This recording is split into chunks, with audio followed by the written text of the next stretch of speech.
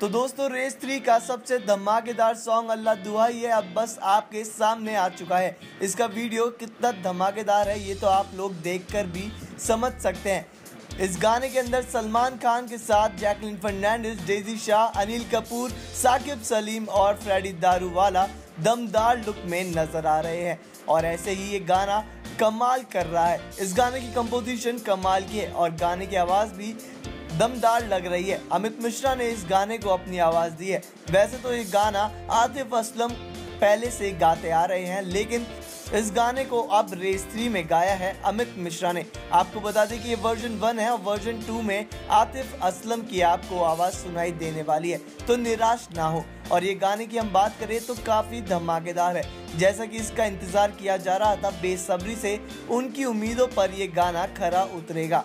और जैसा कि आप सब जानते हैं कि सलमान भाईजान ने इसके लिए इतना बड़ा इवेंट लॉन्च रखा है तो ये गाना अपने आप में ही एक धमाकेदार सॉन्ग बन चुका है। इसका बस रेस थ्री के स्टार्टिंग से बना हुआ आ रहा है और अभी भी इसके गाने के फ़ैन लोग काफ़ी ज़्यादा होते जा रहे हैं। इस गाने के लिरिक्स में सलमान भाईजान ने भी हाथ बटाया है और ये लिरिक्स काफ़ी ज़्यादा कमाल के हैं। तो दोस्तों, अगर आपने अब तक ये गाना नहीं सुना है तो आप टिप्स ऑफिशियल के अकाउंट पर ये गाना सुन सकते हैं।